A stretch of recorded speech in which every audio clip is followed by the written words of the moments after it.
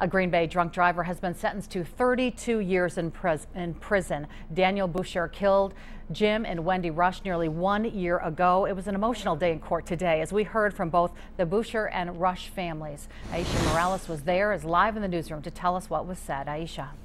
Well, Cami, each side of the courtroom was full with heavy hearts this afternoon, many people shedding tears. The victims, Jim and Wendy Rush, left behind two teenage kids, Megan and Chris Rush. Megan Rush took the stand telling the judge the impact the loss had on their lives. She mentioned her grief for not knowing if she told her dad she loved him that day and how her mother will never meet her future husband. Carolyn Ross Boucher, the defendant's parents, also took the stand saying their son is a good person with a big heart, asking the judge for a more lenient sentence.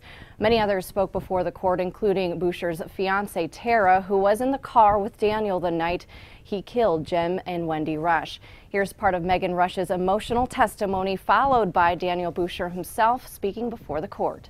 I hope I at least said goodbye, but I don't remember.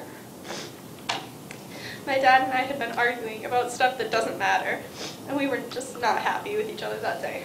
You torture yourself asking, how could I have acted that way? When was the last time I told them that I loved them? I never wanted any of this to happen. I am so sorry. I'm very family oriented.